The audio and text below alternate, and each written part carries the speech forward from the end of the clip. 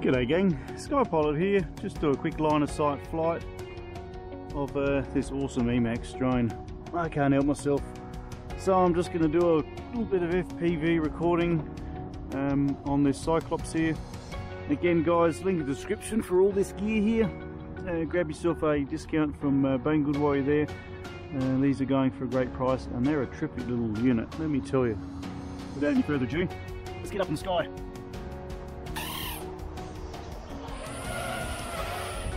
There's a little tiny bit of wind here which does affect these um, FPV drones fairly dramatically. So yeah sorry guys just bear with me. As I said quick line of sight footage here. We'll do a quick punch up. Yeah she's punching up pretty well. Um,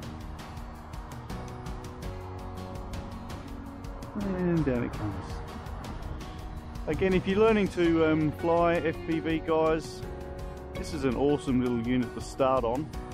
I'll tell you that right now, terrific. Um, and I also suggest doing some line of sight flying first. This is bog stock standard straight out of the box and the settings I'm using here, so a great, terrific example of what to use. Just wait for this wind to die down a bit.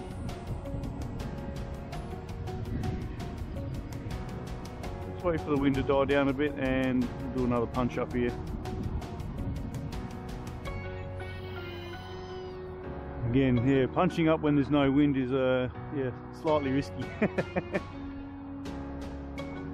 now, if you want the biscuit, you gotta risk it. I love this thing, guys. This thing is awesome. Check my um, video feed to see how we're going there. Let's just drop him down. There you go, yeah, yeah. Be frisky there. Be frisky. And kill.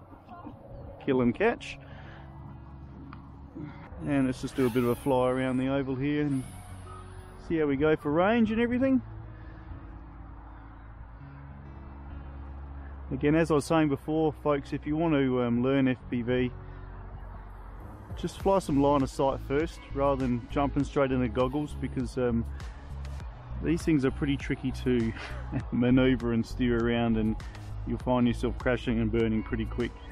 Um, it's a good idea getting a little display here so you can actually see when you're doing line of sight flying you actually see what um, the drone's looking at but you really want to concentrate on yeah, your sticks and how quickly you move them according to your PID tune and yeah just what needs to be done so that you don't crash and burn and lose your drone or your whoop or whatever you're flying. And so once you got the hang of it, then you can jump jump straight into the goggles and have a play. So